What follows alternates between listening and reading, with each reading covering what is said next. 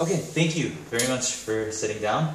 No problem. And it's my honor. Yeah. I was I was with you a little bit last year, and Yes. I had a great time when yes, I came. Yes, yes. Uh, you caught me in a really busy time of my life uh, last year, so Yeah. Monday nights I came for two hours Yes. and really enjoyed myself, but I was always tired after very long days. So Mm, mm. anyway, um, I hope that we can get back together again officially. So. Yeah, yeah. We are together right now. I know. Thanks for that. I really appreciate it. Okay, so I'm really curious, and I, the reason I'm doing this is I, I feel like students, language students, are always looking for new opportunities, or should be looking for opportunities to right, yes. speak English as much as possible. Yes. And I, among many great ideas, I think starting some kind of a study group, a smaller study group or a larger study group, Mm. is a great way for you to create an opportunity Yes, instead yes. of waiting for one to come. Yeah. And so I'm really curious about what was the what was the initial idea for you? What was the beginning of WCT? Uh, at first, when I came back from Canada, I was searching for what I should do in Korea, and I just met my one of my friend, and she took me to uh, some place. Just she wanted to show this place, and it was in Seoul. And I was surprised by uh, many people speaking English in one place, and I was also surprised that they were paying kind of a lot of money to practice English there. So I was inspired of the place at first time and I searched the place a lot on internet and I actually joined the place to learn how it works. And then I, yeah, that, that was my first uh, motivation to make this kind of group. And your your first a- attempt, I guess I don't know if that's the right word. Mm. Your first effort into Yes. this was also in Seoul. Yes, yes, yes. I started my own uh, study group in Seoul first, but then it was too far from my house. That was a problem, main problem, because there were a lot of people in Seoul who wants to practice English, and I was gonna do it for free the first time, so I was expecting a lot of people, and people came actually. And then the problem was uh, because it was too far, so I uh, ended up just doing it in, in front of my house. There was coffee shop, small coffee shop, and I just called people to come there to yeah, have a conversation together. Okay, how many how many days a week were you doing it at that time? At that time, I did it like once a week for the first time, yes. And there were like five to ten people came to the coffee shop to talk. But then every week, members were changing because it wasn't really a well made and well organized group. So I guess they were kind of disappointed Oh, really? at first time. Yes. I guess- Two important questions just Yes, to yes. establish the timeline. Yes. Uh, what year was this when you did this the first uh, time? First time, I remember that I made my Naver cafe 2012, three years ago, yeah. Okay. And how long did you have it running up in Seoul? In At that time. Seoul, like for three months, I guess, yeah. So after a few months, then hmm you decided Mm. you wanted to move closer to home. Yeah, yeah. Okay. The part. I don't think it's the best choice actually because if I had been doing this one like in Seoul, I would be more successful maybe. But because my family is in Suwon and my house is in Suwon, so I couldn't help just doing it here. Um, okay. When you decided to do it for a second time, hmm you've obviously you wanted to do it a little bit differently. What were some things that you wanted to uh, change? At first, when I hmm, when I did it in Suwon first for the first time uh, in a coffee shop, I also wanted to find my own job. I was looking for my job and I did this and that, a lot of things actually. But then I ended up like using my English ability to be my job. So uh, I opened my cram school, like at the main building of WCT, right? And then uh, because there are many English academies and like I didn't I because I did I didn't have any experience to teach English there at the time, so it was it didn't work well. But then I got a place, right? Then I also had some people around me to practice English. So I did it at the same time, kind of like my main job at the time was uh, a cram school teacher. And then my side job was having people here to practice English because I myself was also need to needed to speak English too. So Okay. Yeah. What were your what were your initial kind of uh, like your initial vision for? Did you did you have some ambition for well this is going to grow up to Oh, yeah. be? Did you see foresee this place at that time? I mean, what what was your kind of Uh, first, frankly speaking, I just made this group to have friends to talk with because I had no friends when I came back to Korea. All my friends was working in the company.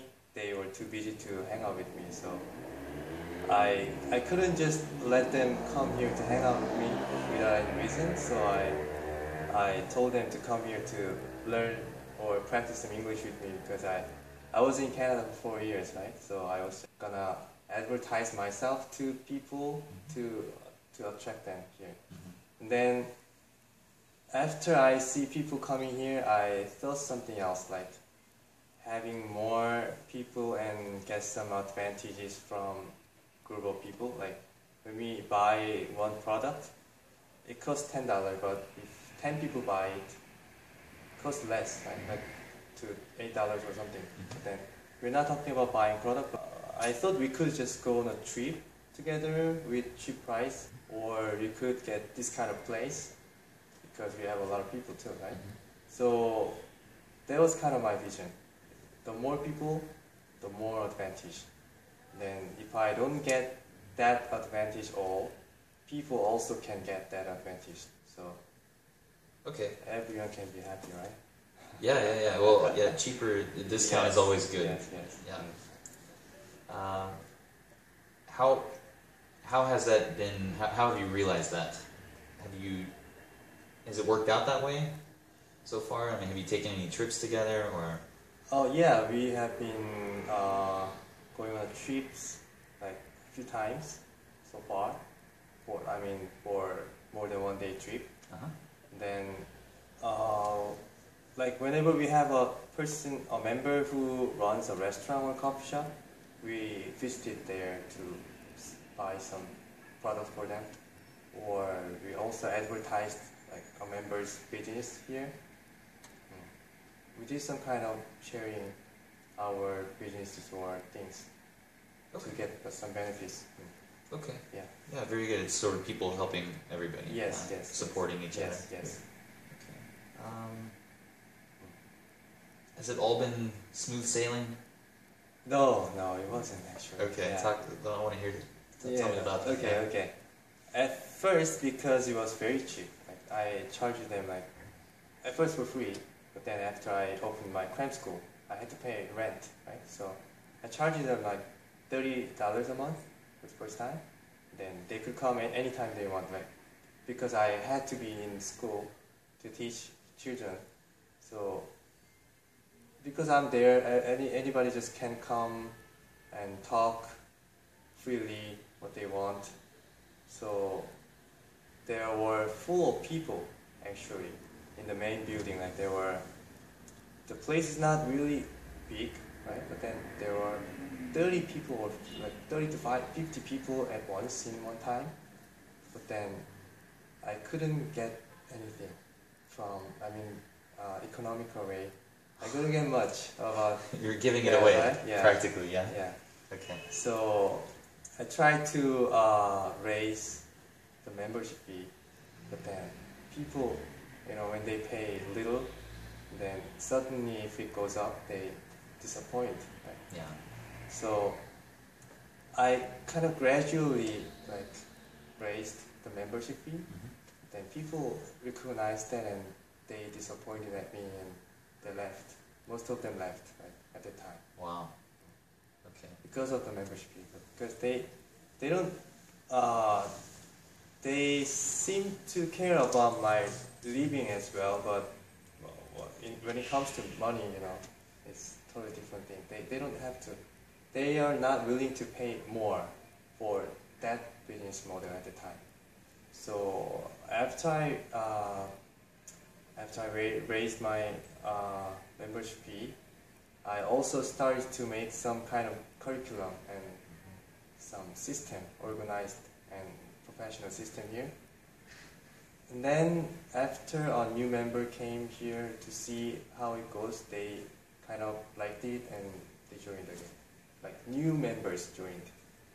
The generation was changed totally. Good. Yeah. Right. So maybe this place is the start of my new system. Okay. As a, a group leader of even one of your groups, Yes. I know you the lower level classes. yes, yes. Typically, yes, right? Yes, yes. How do you approach planning the content for each each lesson? Uh, for contents, uh, first I reminded of how I studied English first, because I was I, I couldn't speak English at all at first time too, Mhm. like them. So, and then I just uh, tried to remember how I studied from the beginning, and I realized that I I studied like some vocabularies when I was in school, and reading materials. I studied listening to. So I just tried to teach them what I learned at the first time. And then from all those I learned, I tried to pick some something up to just speak English. I just focused on speaking English here. So there were a lot of useless things we learn in Korean school. So I tried to avoid those things and I tried to let them know that what we learned something wrong in the school.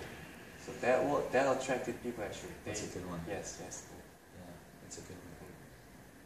Um, it's almost like everyone had the same teacher in some way Yes. because mistakes they tend to be the same yeah. na- nationally. Yes, You know, yes, yes. so that's a really a, a great. Yeah, yeah. I think Angle. people like it. We're about to wrap up. Where can if anyone wanted to find you on the internet? Because I suspect some Koreans will listen to this as well. And Okay. Where can people find you on the internet? On the internet, uh, you can just type wctstudy.com. Then you will find my website.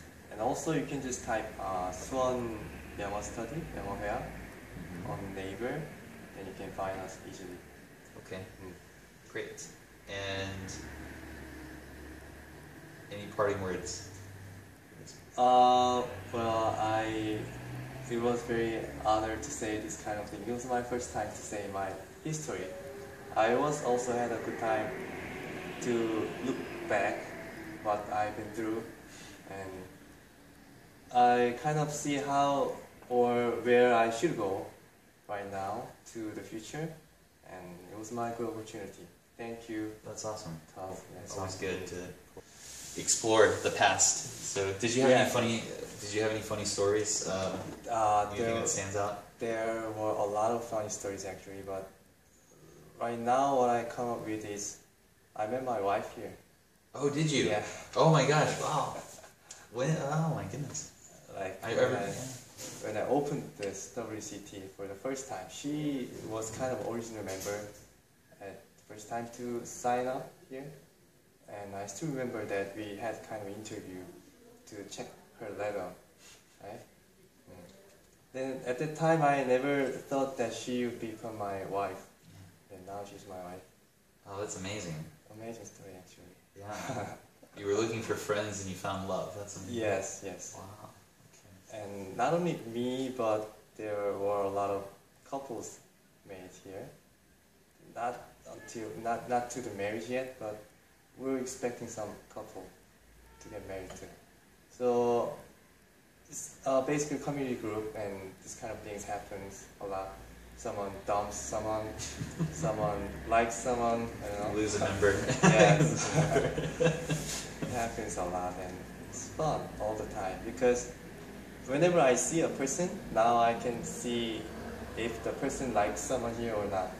Like I can figure out like if the guy or girl is looking for a boyfriend or girlfriend here. Have you done? Have you tried to do any kind of two minute date? I think you know when Yeah, we when I came here that one time it was like a two minute date almost. exactly yes yes.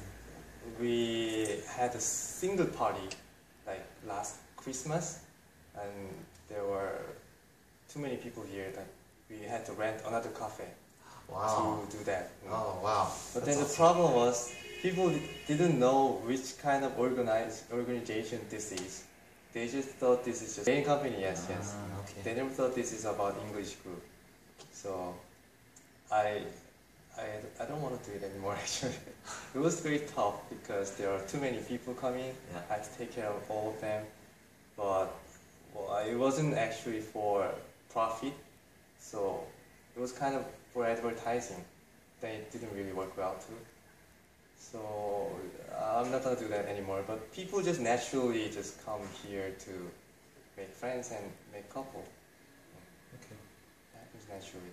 happens naturally. And like we're having a monthly party too. Like we had a opening party here too, right? Mhm.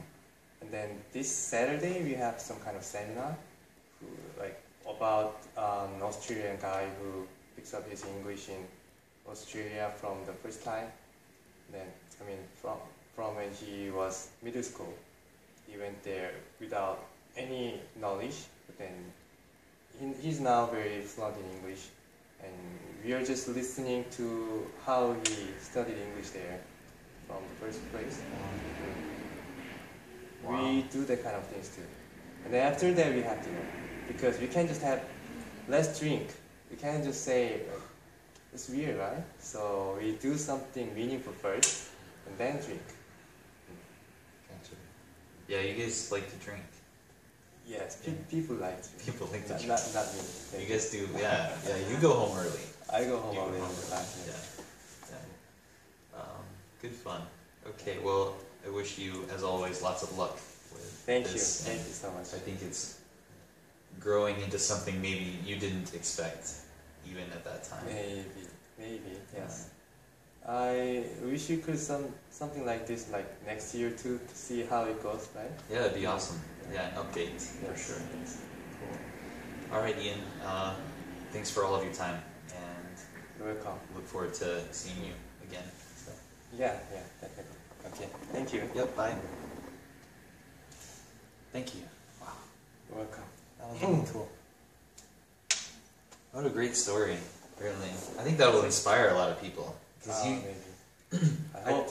I hope so. I think one of the, the things with, with people is when when they even think about doing something, one of the you know one of the major obstacles is you know I don't know how to start. I don't know you know I don't know you know do I need to have this great plan you Yeah, know for this kind of thing and, and I shouldn't start until I have a great plan. And, Yeah. uh, I think it's a really it's, it's a great example because you Mhm. you didn't necessarily have a, a really strong plan at the start, but you No, sort of developed it along the way. It's called people and did nothing. That's why they didn't. They didn't remain here. We just. Uh, at the time, I just thought they would come if I said I was in Canada for four years. That's That it. was it. Yeah, that was it. But that they, was the attraction. I guess they thought that my English was wasn't that good than they expected.